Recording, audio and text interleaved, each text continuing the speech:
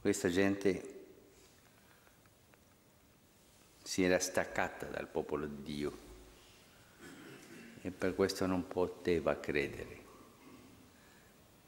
Ma la fede è un dono di Dio, ma la fede viene se tu sei nel suo popolo, se tu sei adesso nella Chiesa, se tu sei aiutato per i sacramenti, per i fratelli, per l'assemblea,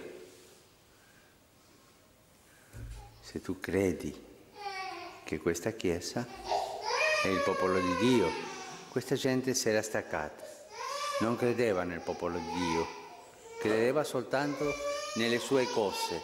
E così aveva costruito tutto un sistema di comandamenti che cacciavano via la gente, cacciavano via la gente e non la lasciavano entrare in chiesa, nel popolo.